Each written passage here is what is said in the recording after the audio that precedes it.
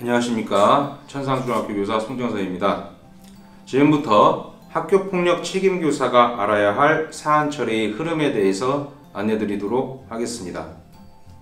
학교는 신고 접수 등 사건 인지 후 14일 이내에 사안 조사, 전담기구 심의, 학교장 자체 해결 여부 결정 및 시행, 학교장 자체 해결 사안이 아닌 경우 지원청의 심의위원회 개최 요청까지 완료하여야 하며 필요한 경우 학교장은 해당 절차의 완료를 7일 이내에서 연기할 수 있음을 꼭 아시고 이 기간을 반드시 지켜주셔야 합니다. 그리고 앞으로 말씀드리게 될 필수 양식은 선생님들께서 반드시 작성해야 할 양식 내용이 오니 숙지해 주시기 바랍니다. 지금부터 학교폭력 책임교사가 학교폭력 발생 시 해야 할 일에 대해 12단계의 순서대로 말씀드리겠습니다. 1. 학교폭력 사안 신고 접수 대장 기재입니다. 필수적으로 하셔야 되는데 어, 모니터를 보시면 필수 양식 1-1 학교폭력 신고 접수 대장을 작성하여 신고 일시와 신고자, 신고 내용, 접수 사실 통보 여부를 작성하고 관련 학생 학부모님께 관련 사안을 반드시 고지하고 학교장 보고를 합니다. 여기까지 했다면 학교 폭력 은폐에 대해서는 걱정하실 필요 없습니다. 학부모 통보 시 관련 사실을 정확하게 파악하기 전이기 때문에 사실 여부에 대해 객관적이고 정확한 사실을 단정 짓지 못할 경우에는 신고 접수된 사항에 대해서만 통보하고 추후 정확한 사실관계를 파악 후 다시 안내드리겠다고 얘기합니다. 전화로 통보할 때는 교사의 휴대폰으로 전화하기보다는 학교 내선 전화로 전화하는 것이 좋으며 행정실 협조하여 학폭 책임교사 전화는 녹음이 될 수 있게 하여 학부모 전화 통화 시 상황을 보고 필요하다면 녹음을 해두는 것이 추후 민원 발생 시 적극적으로 대처가 가능합니다. 사안이 중하고 급박할 경우에는 학부모에게 내교를 요청하여 직접 사안에 대해 설명해 드리는 것이 좋습니다. 교내에서 사건을 직접 목격하거나 대화 캡처 사진, 기타 CCTV 녹화 영상 자료 등 객관적 증거 자료가 있는 다른 교사가 있다면 같이 동석하여 사건의 객관성과 신빙성을 높여줄 수 있습니다. 학부모 통보는 반드시 책임 교사가 해야 할 법적 근거는 없으며 담당 교사가 통보해도 무방합니다. 학교 폭력 사안 신고 접수 대장은 반드시 만들어 놓아야 하며 학교 폭력 전담기구 구성원이 보관 관리해야 합니다. 대개는 학교 폭력 책임 교사가 보관 관리합니다. 다음으로는 사안 접수 후 48시간 이내에 필수 양식 1-2 학교 폭력 사안 접수 보고서를 작성하고 본청 시민교육과 및 해당 지원청 학생 생활회복지원센터에 모두 공문에 첨부하여 보고를 합니다. 작성 시에는 6화 원칙에 의거하여 내용을 간략히 기재합니다. 학교폭력 유형을 선택할 때 학교폭력 사안 처리 가이드북 내용에 있는 각 유형의 개념을 정확히 파악하고 선택하는 것이 추후 학부모 상담 시 원활한 설명과 기타 민원 발생을 줄일 수 있습니다. 만일 학교폭력 유형에 해당하지 않거나 모호한 경우에는 기타란의 내용을 간략히 적습니다.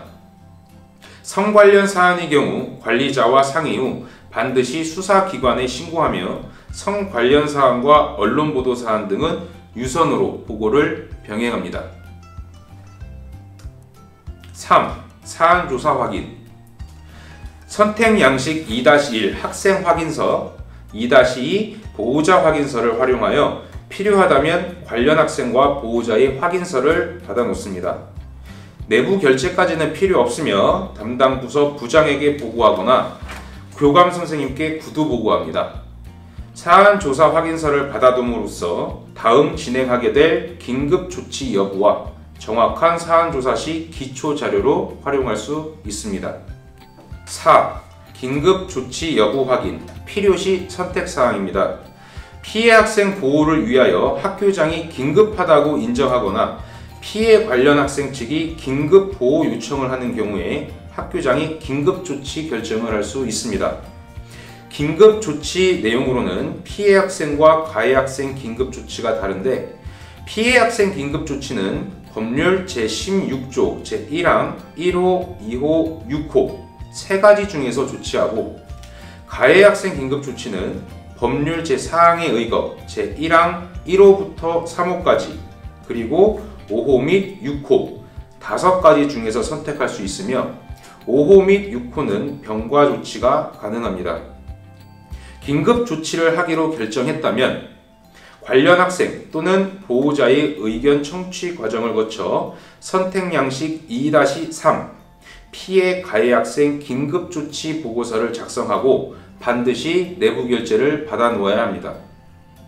그리고 긴급 조치 후 지원청 심의위원회에 공문으로 즉시 보고합니다. 만일 가해 관련 학생이 긴급 조치를 거부하거나 회피할 경우에는 학교의 장은 초중등교육법 제18조 및 동법 시행령 제31조에 따라 징계하여야 합니다. 시행령 제31조 징계 조치로는 학교 내 봉사, 사회 봉사, 특별교육 이수, 출석 정지, 퇴학 처분이 있습니다. 의무 교육 대상 학생에게는 퇴학 처분을 내릴 수 없습니다. 가해 관련 학생에 대해서는 눈빛이나 표정, 다른 친구들을 통해서 등 피해 학생에게 영향력을 행사하지 못하도록 조치하며 피가해 학생을 격리하고 심리적 안정을 위하여 교내 위클래스나 보건실에서 상담을 받을 수 있도록 조치합니다. 이때 피해 학생의 학습권 보장을 위해 학생에게 수업에 참여할 수 있는 심신 상태인지 여부를 파악하고 조치합니다. 5. 사안조사 실시 피해 및 가해 사실 여부 확인을 위한 구체적인 사안 조사를 실시합니다. 사안 조사 시에는 추후 학교 폭력 전담기구 학교장 자체 해결 여부와 심의위원회의 조치 판단 기준인 행위의 고의성, 지속성, 피해의 심각성, 반성 정도, 선도 가능성, 화해 정도 등을 확인할 수 있는 내용으로 조사합니다. 초기 사안 조사는 증거인멸이나 사안에 대해 기억하지 못하는 것을 방지하기 위해 신속하게 진행을 해야 하는데요. 초기 사실관계 확인서가 매우 중요합니다. 초기에는 최초 인지 교사의 진술서를 확보하고 관련 학생들을 교과 시간 외에 따로 불러 육하 원칙에 의거하여 자필로 작성하게 합니다. 관련 학생이 장애 학생의 경우 특수교사의 도움을 받을 수 있도록 합니다. 담임이나 관련 교사와 협력하여 가 피해 관련 학생들의 의견을 자필로 적도록 하여 사안 내용에 대해 구체적으로 기록할 수 있도록 하여 기초 근거 자료로 활용합니다. 부득이 자필로 적을 수 없을 정도로 신체가 불편한 학생의 경우 동의를 얻어 녹취를 하고 그 내용을 책임 교사가 적고 보호자의 확인을 받도록 합니다. 이때 학생들에게 진술서라는 명목으로 작성하게 하면 간혹가다 진술서라는 용어에 민감해하여 민원을 제기하는 학부모들이 있기 때문에 가급적 사실관계 확인서 등의 이름으로 작성하는 것이 좋습니다. 그리고 사실관계 확인서의 양식은 따로 정해진 것은 없고 작성 일시 및 작성자 서명은 반드시 기재할 것을 권장합니다.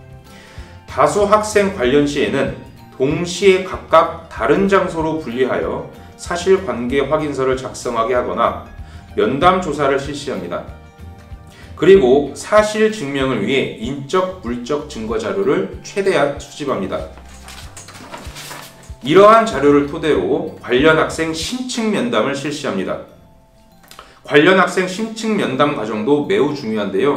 각종 민원을 줄이고 적법한 절차를 위해 사안 조사 과정 중에 학생의 학습권을 침해하지 않는 범위에서 하며 가해 관련 학생의 경우 절대 강압적인 분위기를 만들지 않도록 하고 피해 학생의 진술과 같게 하려고 억지로 진술을 강요해서는 안 됩니다.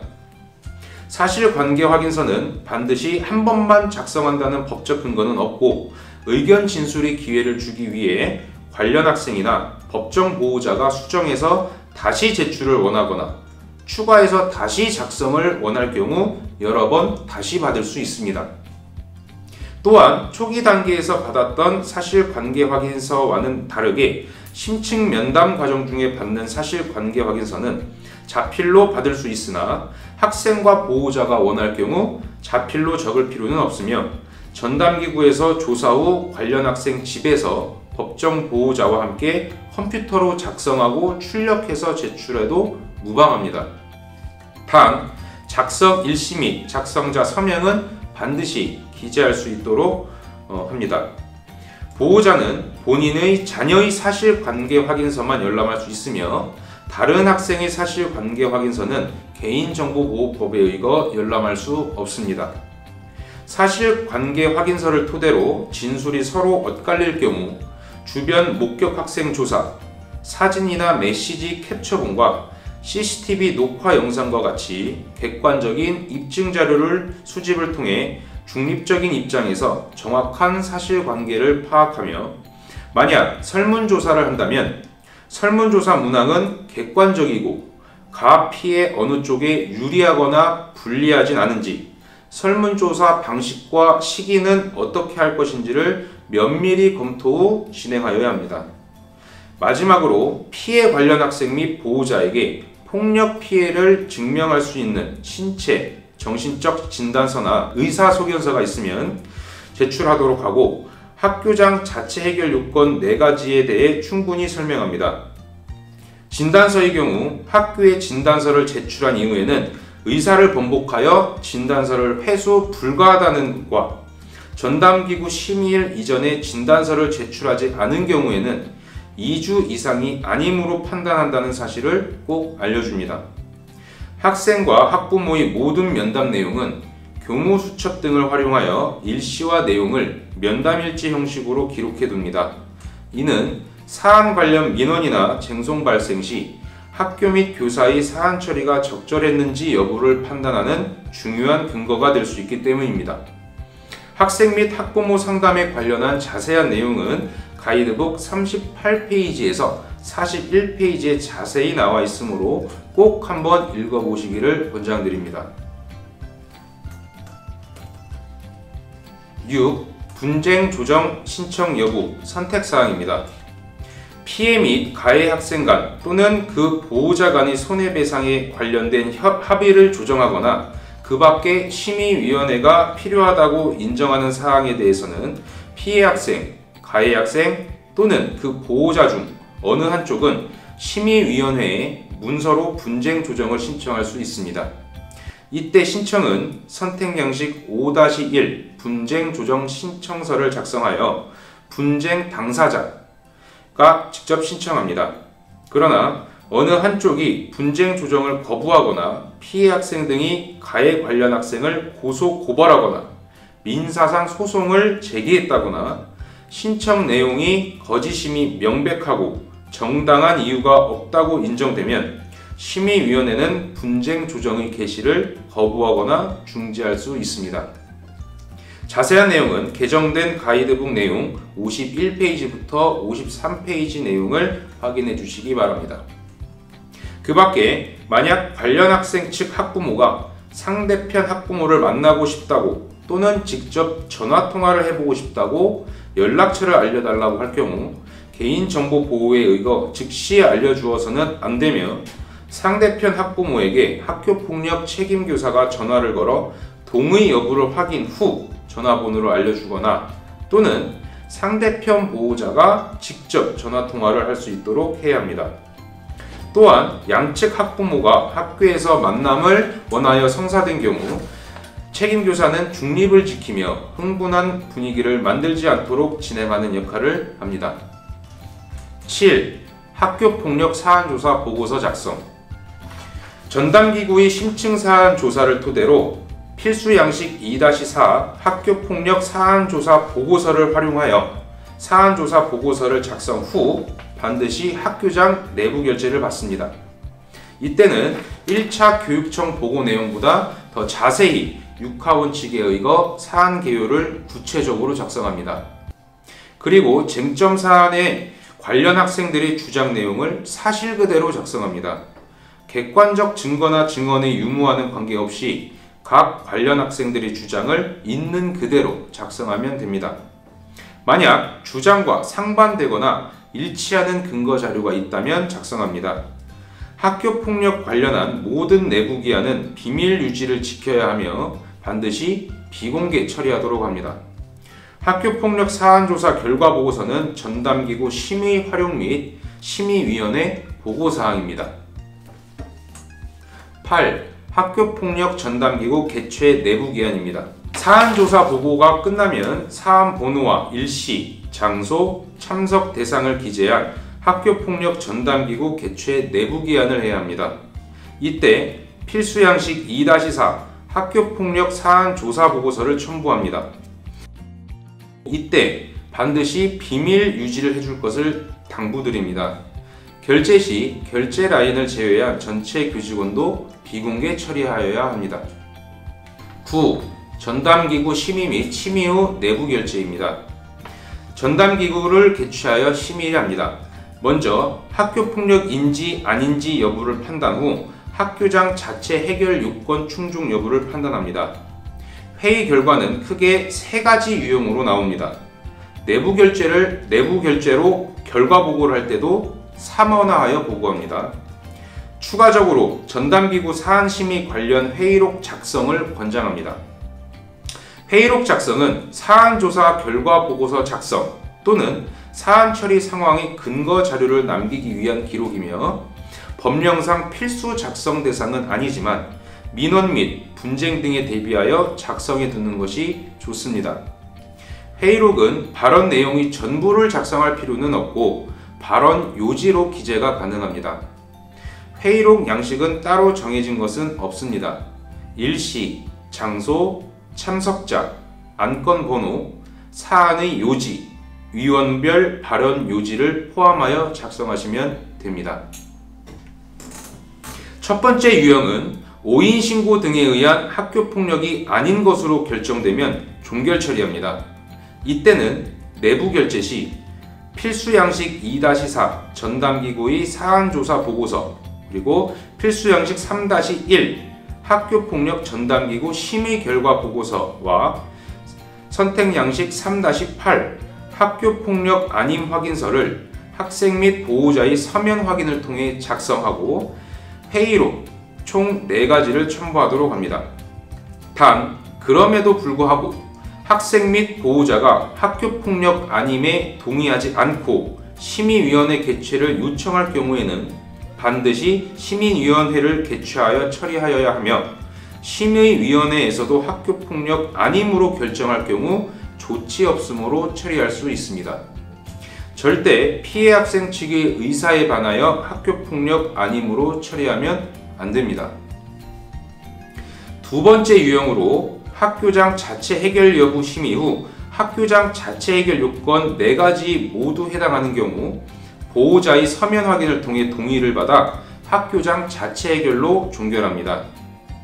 이때는 내부 결제 시 필수 양식 2-4 전담기구의 사안조사 보고서 그리고 필수 양식 3-1 학교 폭력 전담기구 심의 결과 보고서와 그리고 필수 양식 3-2 학교 폭력 대책 심의위원회 개최 요구 의사 확인서 그리고 회의록 총 4가지를 첨부하여 내부 결제를 받습니다. 그리고 후속 조치로 필요시 가해 학생을 대상으로 담당 교사 상담, 캠페인 활동, 교내외 봉사 등 교육 프로그램을 운영할 수 있고 관련 학생 간 관계 개선 의지와 동의 여부에 따라 자체적으로 관계 회복 프로그램 운영이 가능합니다. 내부 결제 완료 후 관련 학생 보호자에게 서면이나 유선, 문자 등을 이용하여 통보합니다. 주의할 점은 만약 하나의 학교 폭력 사안에서 가해 학생이 여러 명인 경우 가해 학생 모두가 학교장 자체 해결 요건에 해당하는 경우에 하나여 학교장 자체 해결이 가능합니다. 또한 원칙적으로 피해 학생 및 그 보호자는 사안의 학교장 자체 해결 이후에는 동일 사안에 대하여 심의위원회 개최를 요구할 수 없으나 다음 두 가지 상황에 대해서는 학교장에게 서면으로 심의위원회 개최를 요청할 수 있습니다. 첫 번째, 만일 전담 기구 심의일 이전에 가해 관련 학생 보호자가 피해 관련 학생 보호자에게 재산상 피해를 복구해 줄 것을 확인해 주고 피해 관련 학생 보호자가 이를 인정하여 학교장 자체 해결 요건을 충족시켰다고 보고 자체 종결로 처리하였으나 그 이후 자체 종결 이후 재산상의 피해 복구를 이행하지 않았을 경우와 두 번째로는 학교장 자체 해결로 결정된 후에 조사 과정에서 확인되지 않았던 사실이 추가적으로 확인된 경우에는 학교장은 선택 양식 3-4 학교폭력 대책 심의위원회 개최 요청서를 작성하여 심의위원회 소집을 요청할 수 있습니다.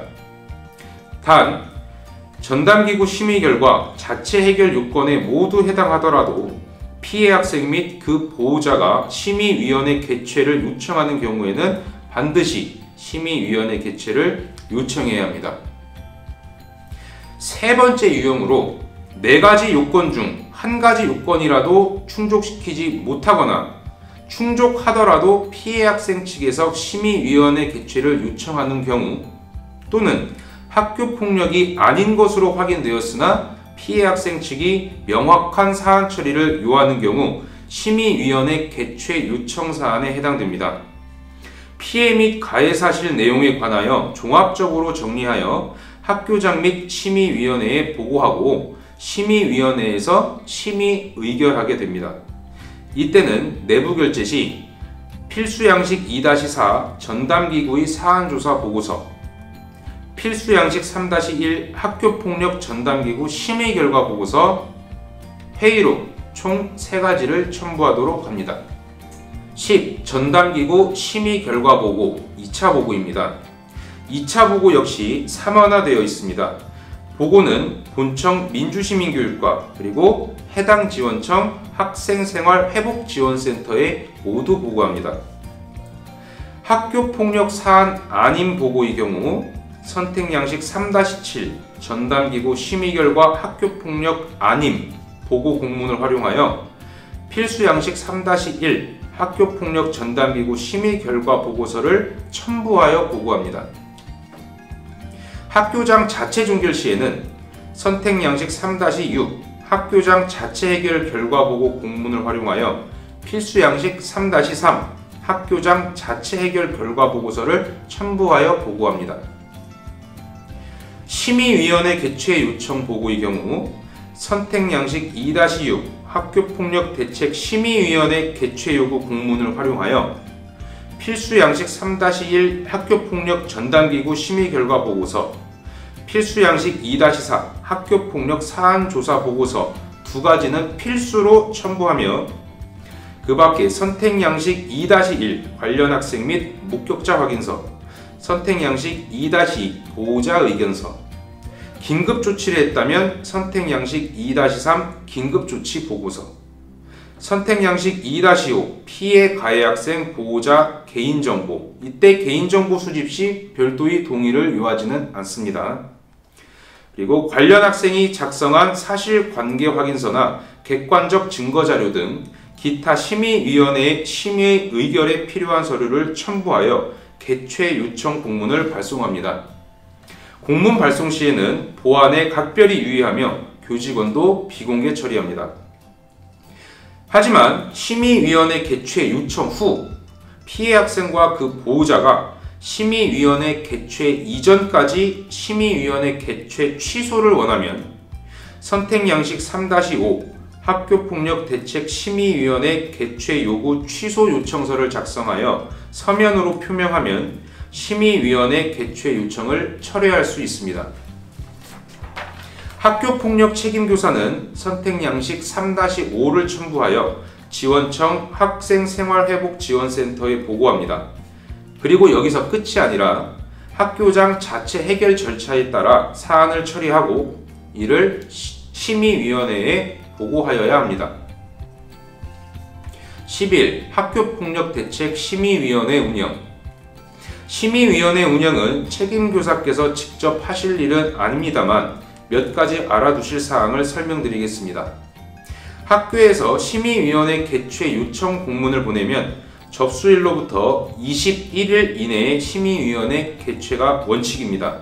다만 상황에 따라 7일 이내에서 연장이 가능합니다.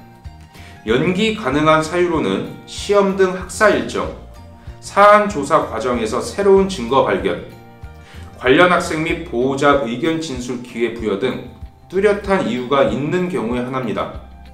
그리고 심의위원회에서 필요하다고 인정하면 학교 폭력 책임교사를 출석하게 하여 의견을 들을 수 있습니다. 12. 가해 학생 조치 이행 협조 및 이행 여부 보고 3차 보고입니다. 교육장은 심의위원회의 조치 결정 후 학교의 공문으로 조치 결정을 통보하게 됩니다. 학교는 조치 결정에 따른 조치의 이행에 협조하여야 합니다. 책임교사, 책임교사께서는 반드시 필수 양식 4-1 학교폭력 가해 학생 조치 조건부 기재유보 관리대장 그리고 학교폭력 조치사항 관리대장 두 가지를 만드시고 보관 관리하셔야 하며 하셔야 할 일은 다음과 같이 크게 네 가지입니다. 하나하나 설명드리도록 하겠습니다. 첫 번째는 교육지원청의 조치 결정 공문을 접수한 즉시 학교 생활기록부에 기재하여야 합니다. 교육장의 조치 결정일은 조치 결정 통보서의 내부 결제일로 하고 공문에 명시되어 있습니다. 이 조치 결정일을 학교생활기록부 기재 시 입력하고 그 밖에 학교생활기록부 기재 유보나 추후 삭제 대상자 심의 시 경과 기준일이 됩니다. 학교폭력 피해 학생 조치사항은 입력하지 않으며 기타 학교생활기록부 기재 유의사항과 방법은 학교폭력 사안 처리 주요사항 안내책자의 학교생활기록부 기재 및 삭제 내용과 학교생활기록부 작성 지침을 반드시 참고하시기 바랍니다. 기록은 해당 가해 학생 담임교사가 하며 책임교사께서는 기록이 해당 영역에 정확하게 기재가 되었는지 확인하셔야 합니다. 단, 가해 학생이 1호, 2호, 3호 조치를 받은 경우 조건부로 기재를 유보할 수 있습니다. 조건부라 함은 조치사항을 기일 내에 이행하였고 가해 학생이 동일 학교급에서 다른 학교 폭력 사항으로 조치를 받지 않은 경우 기재를 유보해야 합니다. 만일 해당 학생이 동일 학교급에서 다른 사항으로 가해 학생 조치를 받은 경우 이전에 기재 유보한 조치 사항을 포함하여 기재하여야 합니다. 기재 유보 사항은 가해 학생이 이행 기한 내에 조치 이행을 완료하면 즉시 필수 양식 4-1 학교 폭력 가해 학생 조치 조건부 기재 유보 관리대장에 기재합니다. 그 밖에 가해 학생 학적 변동 시 전출교에서는 전입교에 기재 유보된 사항을 통보하고 전입교에서 해당 학생의 기재 유보 관리 대장을 관리 보유합니다. 통보 시에는 기재 유보 관리 대장을 복사하여 다른 학생 정보는 삭제 후 원본 대조피를 찍어 전출 서류에 포함하여 학적 담당 교사가 발송 처리합니다. 두 번째는 심의위원회에서 조치 결정 통보문에 명시되어 있는 조치 이행 기한 내까지 조치가 이행될 수 있도록 해야 합니다. 1호 조치를 제외한 2호부터 9호 조치를 받은 학생이 해당 조치를 거부하거나 기피하는 경우에는 심의위원회에 공문으로 보고하여 교육장에게 추가로 다른 조치를 할 것을 요청할 수 있습니다. 만일 가해 학생이 이행 기한 내에 조치 사항을 이행하지 않으면 유보되었던 조치 사항을 학교생활기록부에 즉시 기재하고 이후의 조치 사항을 이행하여도 기재 내용을 유지하여야 합니다. 심의위원회에서 피해 학생에 대한 보호 조치도 하였다면 해당 보호 조치도 이행하여야 합니다. 세 번째는 학교폭력 조치사항 관리대장 작성과 관리를 반드시 해야 합니다. 학교별 자체 양식을 활용하며 추후 가해 학생이 졸업 시 학교폭력 조치사항 삭제 처리가 누락되지 않도록 입학 학년도 단위로 작성하여 관리합니다. 조치사항 관리대장 내용은 가해 학생의 학년, 반, 번호, 이름, 조치 내용, 조치 일자, 졸업 예정일, 학생부 보존 만료일을 포함하며 가해 학생별로 책임교사와 학교장 확인란을 포함하여 표로 작성합니다. 학교폭력 조치사항 관리대장은 졸업 후 2년의 보존기간이 만료되면 즉시 폐기하여야 합니다. 마지막 네 번째는 모든 가 피해 학생의 조치가 이행이 완료되면 피가해 학생 조치사항 이행 완료 보고를 해야 합니다. 선택 양식 4-2 교육장의 조치 이행 결과 보고 공문 양식을 활용합니다. 마찬가지로 본청 민주시민교육과와 해당 지원청 학생생활회복지원센터 두 군데 모두 보고하여야 하며 조치가 병과된 경우에는 모든 조치가 완료된 후 결과를 보고하며 부과된 특별 교육 내용도 포함하여야 합니다. 만일 이행 기한 내에 조치 이행이 완료되지 않으면 이행이 완료된 후에 보고를 합니다. 이상 학교폭력 책임교사께서 사안 발생 시부터 조, 최종 조치사항 이행 보고까지 해야 할 핵심적인 일을 정리하였습니다. 본 내용을 숙지하신 후 학교 폭력 사안 처리 가이드북 내용과 교육청에서 공문으로 발송한 학교 폭력 사안 처리 요약 내용을 읽어보시면 본 내용에 생략되어 있는 자세한 가이드라인까지 알게 되시기 때문에 선생님께서 사안 처리하는 데 큰 도움이 되리라 생각합니다. 감사합니다.